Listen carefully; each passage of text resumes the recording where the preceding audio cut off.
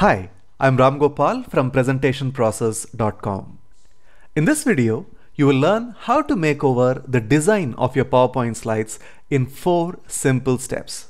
For this makeover exercise, I am going to use one of the most common slide types used by business presenters, which is the bullet point slide. Of course, the first thing that I suggest is where possible, you should always try to visualize the information rather than to use text like this. But there are times that you have to use a bulleted list. Like say for example, you have a checklist to present or there are four different definitions of a term or there might be n number of reasons why you may want to use a bullet point slide.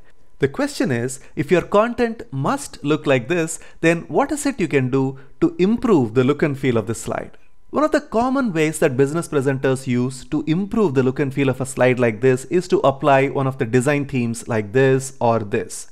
Though a design theme may make your slide look a little better, the problem with using these design themes is they have been used so much that they look cliched. When you use a design theme, your slide looks like a million other slides that your audience has already seen and hence your audience may tune out. So if you can't use a design theme, then what is it that we can do to make your slides look a lot better?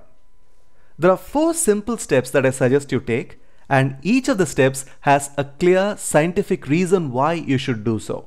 So let us quickly look at the four steps and see the reason why you need to use those four steps. The first thing that I suggest you do is you make the changes in your slide master. So let me go to the view tab in PowerPoint ribbon and pick up this option called slide master.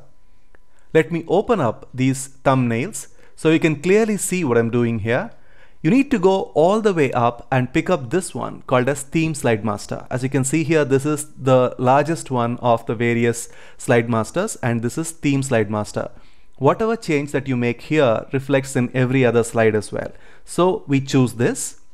The first thing we are going to do is to differentiate our slide title from the body content.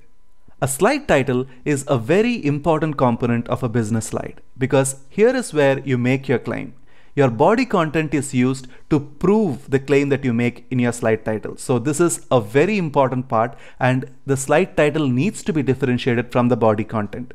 A simple way to differentiate your slide title from the body content is to choose a different font. So I'm going to select the text here, go to the home tab and I'm going to choose a different font. In this case, I'm going to choose a font which is thick and at the same time clearly readable and the one that I'm going to choose is this one called as Franklin Gothic Medium Condensed. Now this is done.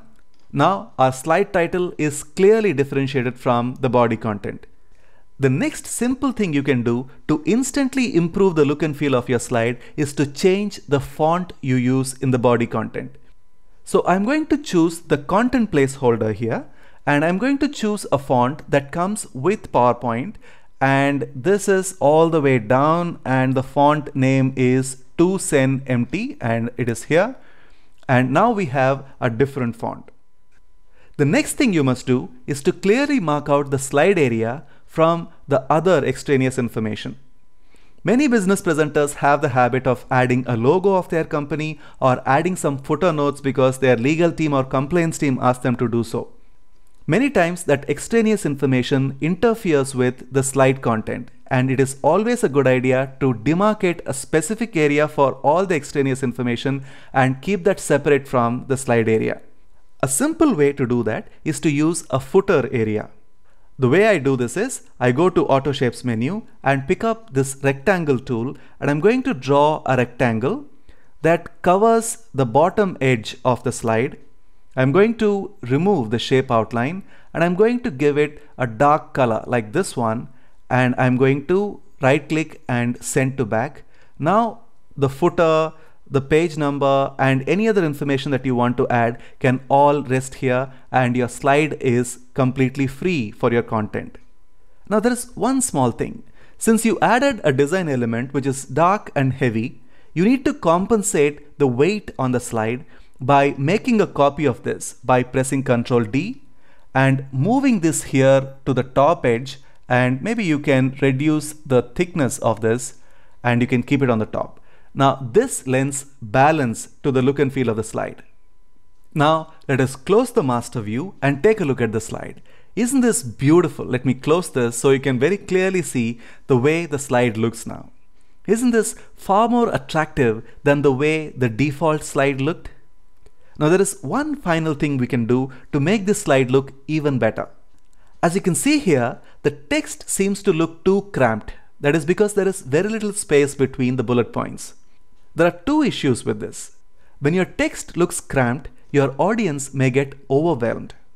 The other issue is, since there is empty space here, your audience may expect that you may be presenting more information on this slide. And when you don't do that, your audience may feel disappointed. To avoid both these issues, you can add a little bit of space between the bullet points so there is space for this text to breathe and at the same time we don't leave out any unnecessary negative space. The way to add a bit of space between the bullet points is you select all the text, go to this option called as line spacing option, go here to line spacing options and as you can see here spacing before is 10 points and spacing after is 0 points. You add 10 points here as well and you press OK and now you can see that there is space between the various bullet points and now the slide looks lot more professional. Now here is the before and after comparison of the same slide. Doesn't this look far more attractive and far more professional than this slide? All we did is we differentiated the slide title, we used a different font for the body content, we created a separate footer area for all the extraneous information so the slide area is freed up. And fourth, we added a bit of space between the various bullet points.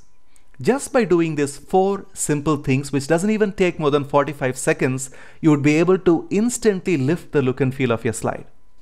So the next time you need to make a business presentation and if you don't have too much time to polish the look and feel of your slides, do at least these four simple things and see the difference it makes to your slides. As a thank you for watching this video this far, I am happy to present to you a wonderful mini training called 5 things you can do under 5 minutes to make your slides look more professional. It is a useful mini training for every business presenter. Whether you are a business owner, a business executive, a trainer, or a consultant, you will find this mini training very, very useful. You can sign up for the mini training by clicking on the link here. You can also sign up for the mini training by clicking on the link in the description area right below this video. Thanks a lot for watching the video and I'll see you in the mini training.